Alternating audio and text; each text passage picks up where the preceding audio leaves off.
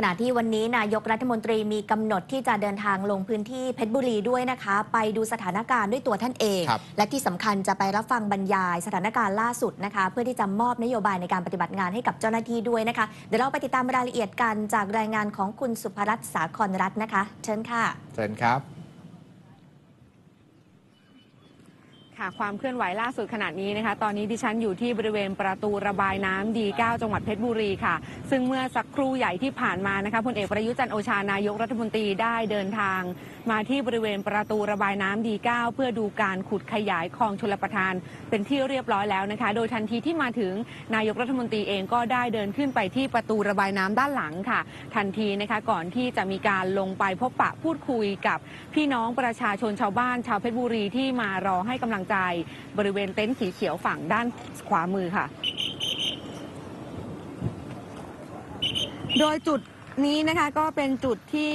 ใกล้กับประตูระบายน้ำดี9นะคะ ซึ่งเมื่อวานนี้ทีมข่าวได้มีการลงสำรวจพื้นที่ตั้งแต่ช่วงเย็นจนถึง4ี่ทุ่มนะคะ พบว่ามีการเปิดประตูระบายน้ำใช้งานแล้ว หลังจากเจ้าหน้าที่ชลประทานเร่งขุดคลองชลประทานขวา 1 สายใหญ่ 3 เปิดทางระบายน้ำเพื่อตัดน้ำจากเขื่อนแก่งกระจาน ไม่ให้ไหลผ่านเขื่อนเพชร ป้องกันน้ำท่วมตัวเมืองเพชรบุรีค่ะ ซึ่งจากการสอบถามนายพีรพัฒน์มณีโชติหัวหน้าฝ่ายส่งน้ำและบำรุงรักษาที่ 3 โครงการชลประทานเพชรบุรีก็บอกนะคะว่าการขุดคลองชลประทานขวาหนึ่งสายใหญ่ 3 นั้น จะช่วยให้น้ำไม่ท่วมตัวเมืองเพชรบุรีอย่างแน่นอนค่ะ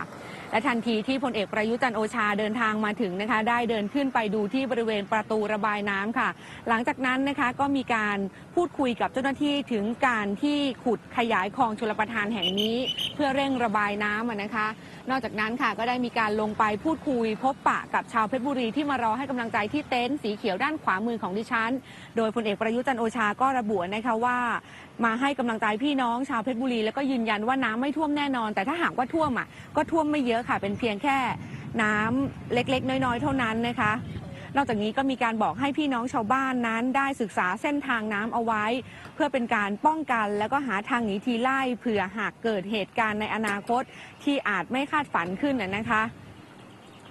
และเมื่อสักครู่ที่ผ่านมาค่ะพลเอกประยุจันโอชาก็ได้เดินทางกลับออกไปจากประตูระบายน้ำดี9ค่ะ โดยหลังจากนี้นะคะ ซึ่งทันทีที่ท่านกลับเนี่ยท่านได้มีการเปิดกระจกรถลงมานะคะ แล้วก็โบกมือทักทายกับประชาชนที่รออยู่อีกฝั่งหนึ่งค่ะ และหลังจากนี้นะคะท่านก็จะมีกำหนดการเดินทางไปยังวัดคุ้งตำหนักตำบลบางตะบุญอำเภอบ้านแหลม เพื่อตรวจการติดตั้งเครื่องผลักดันน้ำและระดับน้ำเปรียบเทียบ ก่อนที่จะเดินทางกลับกรุงเทพมหานครนะคะ ในช่วงเวลา 15นาฬิกา30 นาทีของวันนี้ค่ะค่ะและนี่นะคะก็เป็นความเคลื่อนไหวล่าสุดขนาดนี้นะคะ ที่บริเวณประตูระบายน้ำดีเก้าจังหวัดเพชรบุรีค่ะ หากมีความคืบหน้าทีมข่าวสปริงนิวจะรายงานกลับไปทางสถานีอีกครั้ง สุภรัตน์สาครรัฐรายงานค่ะ